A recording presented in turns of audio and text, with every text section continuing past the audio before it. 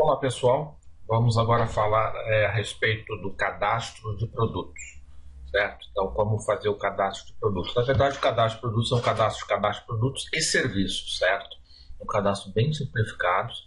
É, a gente entendeu que nesse momento a questão do hotel é, não há necessidade de fazer cadastros mais elaborados.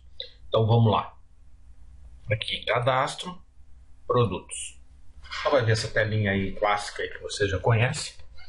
Então, é, para cadastrar um produto novo, ele é muito simples, tá? Então vamos lá em novo, já vai aparecer aqui, não está indo para um outro formulário, tá? Nós optamos por um cadastro de produto bem simples nesse primeiro momento. Tá? Então aqui a gente pode botar produto, produto lá, valor 10, estoque.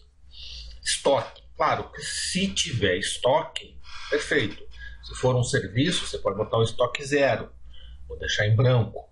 Tá? Mas aqui faz a questão da, da, gestão do estoque. Então vamos botar aqui no caso 10. Código de barra, se você tiver o código de barra e desejar cadastrar, você pode cadastrar aqui também. Tá? Fica opcional seu para depois no momento de vendas, lá quando a gente tem a venda direta, ser mais rápido do que ficar procurando qual é o. E aqui o status, na verdade, é o tipo, né? Se você está falando de um produto, você está falando de um serviço, ou se você está falando da diária do, do, da diária, né? Do custo de diária, tá? Então, é são serviços diferentes, tá? Vou botar nesse caso aqui produto, salvar. Então, beleza, aqui já fez o código 8, produto A, valor 10, estoque, código de barras, tá? Perfeito, está tá aqui cadastrado, certo? Simples assim. Se precisar editar, clica aqui em editar. Pode trocar aqui para aquele valor, vamos botar aqui 35. Salvar, beleza. Então aqui está aqui o valor 35, já salvo. Tá? Se precisar excluir, chega aqui em excluir. Vai ter certeza que deseja excluir. Ok. Excluído o produto. Tá? É muito simples, tá? Então, assim, na questão da diária, vocês têm que ter é, no mínimo um, uma diária. Você pode ter diárias promocionais, você pode colocar aqui, você pode ter diárias específicas para dependendo do tamanho do animal, você pode colocar aqui. Então, tudo isso você pode é, definir diferente. Tá? Questão do serviço, né? então questão do serviço você pode botar aqui tipo serviço 1, valor 5 reais, sei lá, se não quiser, não tem código de barra, pode dizer que é um serviço.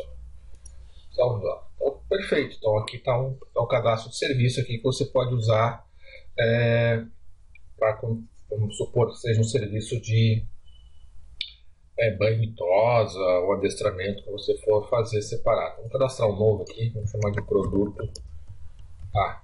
Vamos botar aqui o valor 10, estoque 10, salvar. Se não, por acaso você fizer uma baixa manual desse estoque, né, se não for uma venda nem no hotel, você pode vir aqui editar no estoque você pode baixar aqui para nós, certo? Então fazer só uma baixa manual mesmo, assim, sem grandes problemas. Certo, pessoal? É uma coisa importante do estoque, você, quando você faz uma venda, ele já vai baixar o estoque automaticamente, então quando é produto, né, claro, se é serviço não faz sentido ter estoque. Se vocês tiverem alguma dúvida ou se vocês é, tiverem alguma sugestão, tá? o cadastro de produtos e serviços está bem simples, exatamente para não ser complexo. O sistema não é fiscal, ou seja, não emite nota fiscal. Se emitisse nota fiscal, provavelmente o cadastro de produto seria um tanto quanto mais completo, né? teria que ter os impostos todos que estão incidindo. No caso, o cadastro do produto é operacional, então é bem simples. Mas se vocês tiverem dúvidas, sugestões, é, entre em contato com a gente, que a gente vai ouvi-los e, e, fazer as devidas implementações e estudar o que for necessário fazer. Obrigado e até a próxima.